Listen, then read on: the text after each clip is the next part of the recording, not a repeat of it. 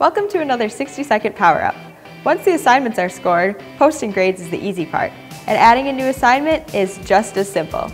Today we're going to look at posting updates for your class in Family Access.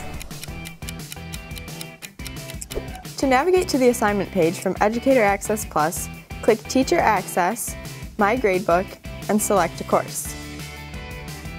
To add a new assignment, click on Assignments, then Add Assignment. On this page, you can fill out specific details. You can choose to make this information visible in Family Access, Student Access, or both. Select which class the assignment will be for. On the right-hand panel, there are additional options for adding attachments, copying assignments, or cloning the assignment of another teacher. When you've finished, hit Save. When it's time to enter grades, go back to the main gradebook. Simply click the asterisk under the corresponding assignment. Enter the class scores and any comments you wish to add.